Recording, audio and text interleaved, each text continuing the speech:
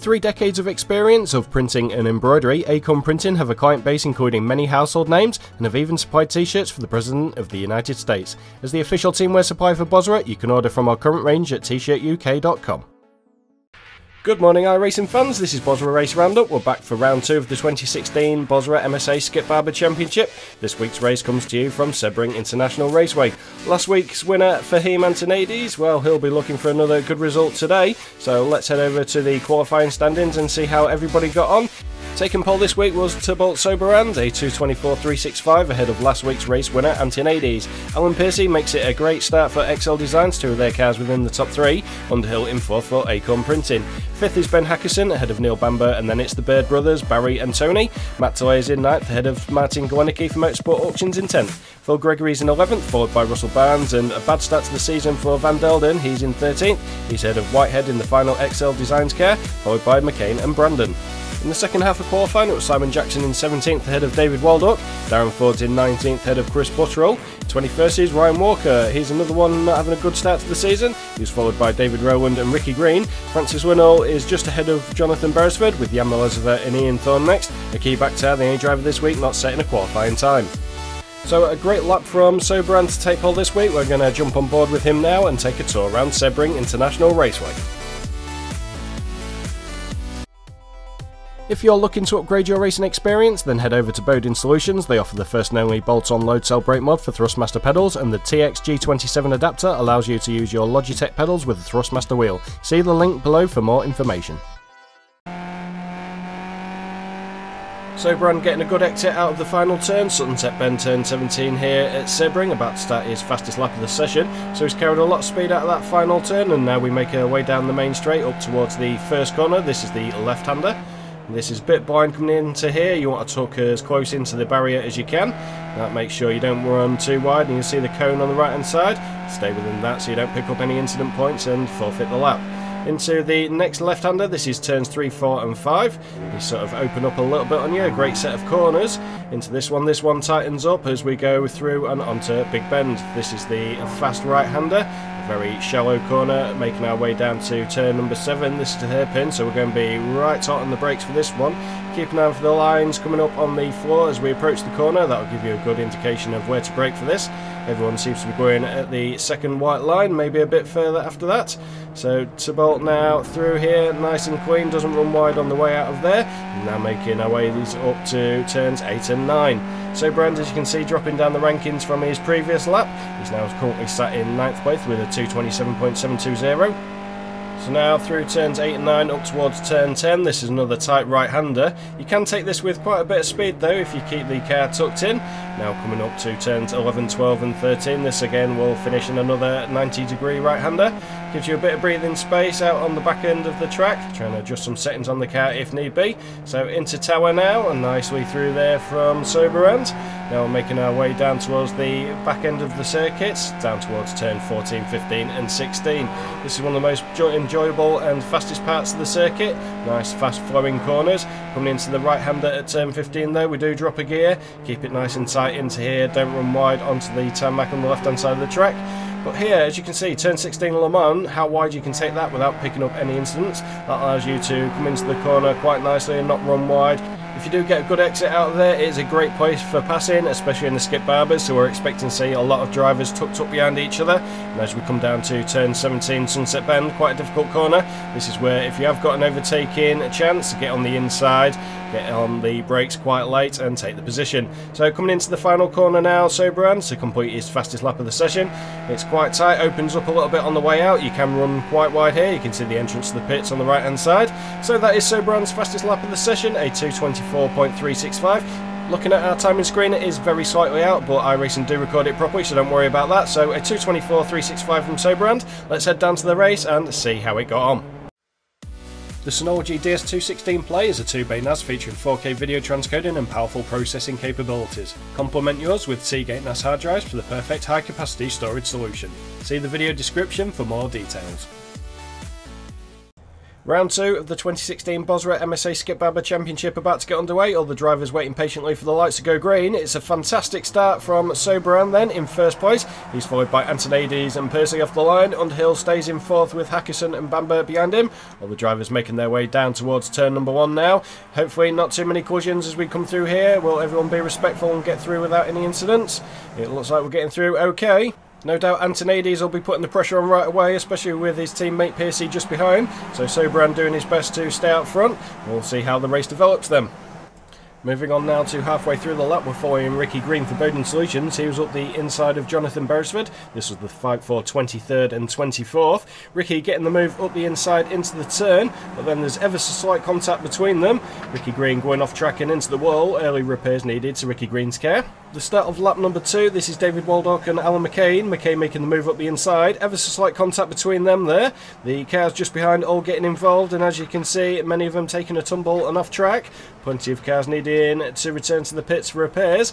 Drivers further behind getting the yellow flag warning and coming through trying to dodge all the carnage going on in front of them. So David, as you can see, has lost his front wing as well, so he'll be another driver to the pits.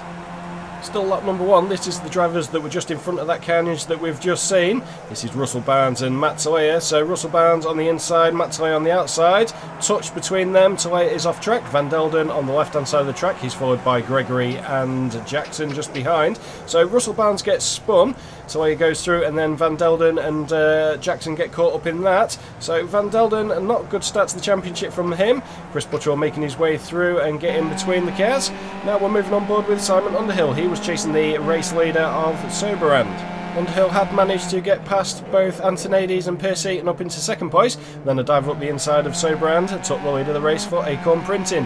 Sobrand just going to sit back and uh, sit behind Simon for now. I forget we've got the Ulmann Straight coming up towards the end of the lap, so will he make a move further on? So we're going to stay on board with them and see how this develops.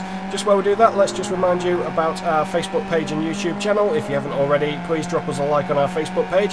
The same with our YouTube channel. If you haven't subscribed to that yet, then head on over there and get signed up.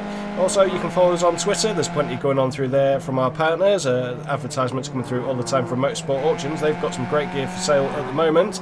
So, Sobrand and uh, Underhill in through Le Mans Corner onto the Ulmann Straight. As we saw in the qualifying video, if you can tuck up on the back here, this is a great example of it.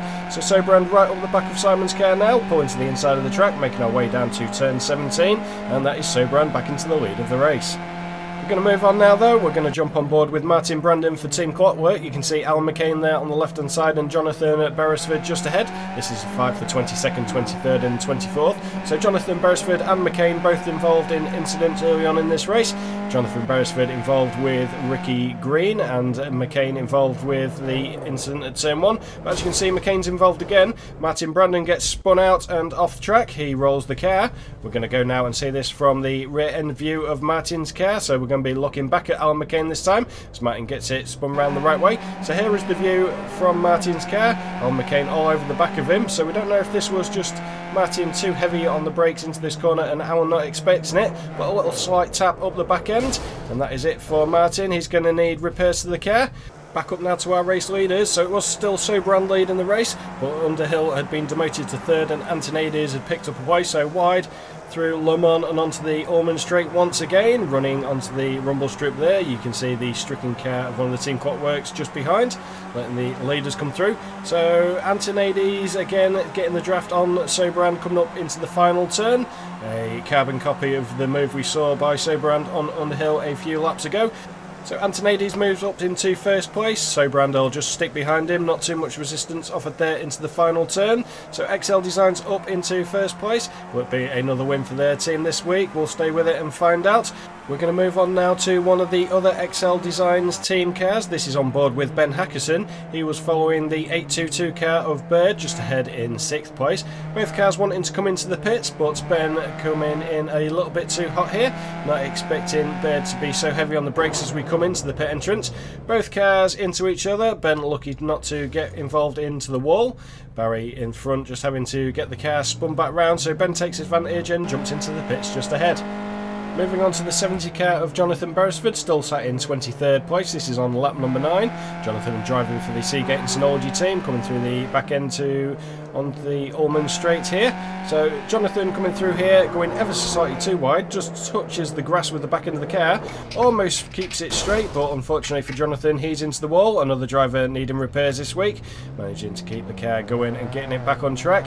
You see the steering damage there, pulling to the left hand side, so Jonathan steering it and getting the car back to the Now to a battle that had raged on lap after lap. This was Chris Buttrell in 10th and Simon Jackson in 11th. This was lap number 9, so it was Motorsport Auctions versus Bentley Boys Racing. This time it was Simon Jackson getting the toe and through on turn 17 onto the main straight. Chris tucking in just behind Simon now. We will come back to this in a minute, but we are going to skip forward with our race leader, Neil Bamber. You'll see him there just in the pits in the distance on the right hand side. Sobrand then retook the lead of the race on lap number 15, so Sobrand for Team Clockwork going well.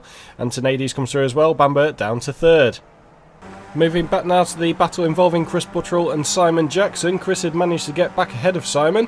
As you can see from the leaderboard there on lap number 15, Bamber has dropped down to 4th after his pit stop. So Simon is all over the back of Chris Buttrell's car, coming up to the right-hander.